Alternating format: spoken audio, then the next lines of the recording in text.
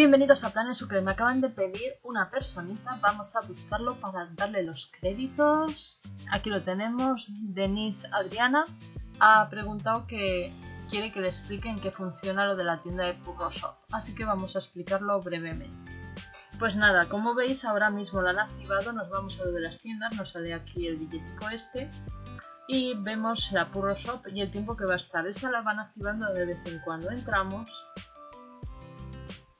Entramos y veis que salen costal común, costal raro, costal épico y costal legendario. Y aquí nos muestra, se paga con estos billetes y nos muestra la cantidad que tenemos.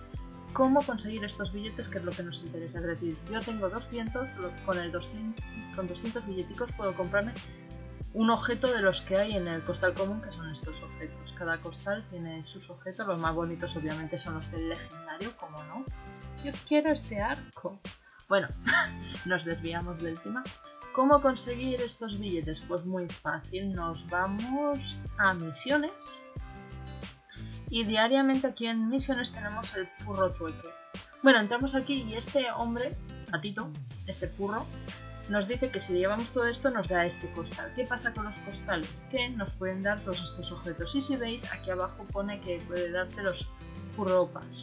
Que es eso, son los billetitos que necesitamos. Es decir, para conseguir esos billetes básicamente lo que tenemos que hacer es conseguir costales y abrir estos costales. Entonces los costales puedes conseguir uno diario entrando aquí o si no, el método común y corriente. Llevas al mercado, pones costal y aquí tenéis costales a la venta a cambio de manas. Y esos son los dos sistemas por los que hay. Luego, lo dicho, en la tienda lo tenéis para comprar. Y sin más, espero que quede todo claro. Me despido. Chao, chao.